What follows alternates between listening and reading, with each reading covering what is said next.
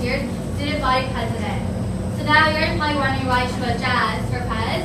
Well, there's three great reasons why. One, I'm hardworking and I won't stop until I get the job done right. Two, because I have tons of experience working on SAC. As uh, last year I was grade rep, so I kind of know how the whole SAC, SAC thing works. And three, because when I, as elected as a student body president, I will vow to end all homework. I wish. But what I can do is I can be your voice. Can make sure all your ideas are get, get heard and make them possible. So a couple ideas I had for next year is at the very beginning of the year to make sure everybody's ideas are heard. And so I know some people are kind of scared to stand up to for vote for some of the ideas that they had.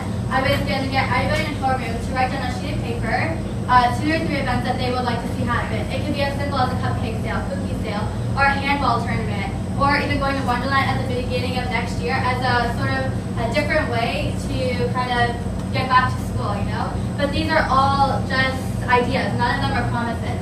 Another idea I had was at our semi. This year was very successful. Won't you say so? Yes, it was. But the only toll we had was giving everybody on the dance floor.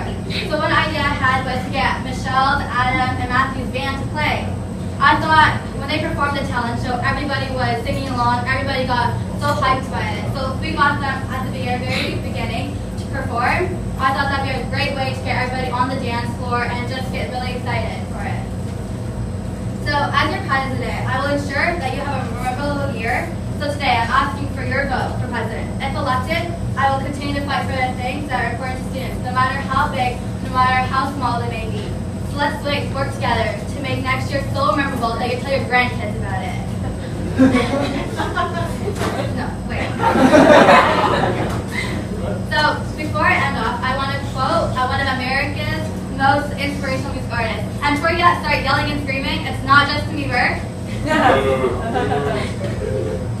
so yesterday was Thursday. Today it is Friday. We we we so excited.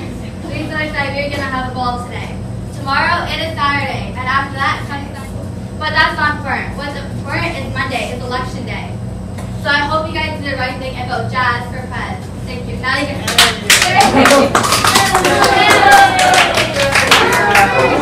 so happy.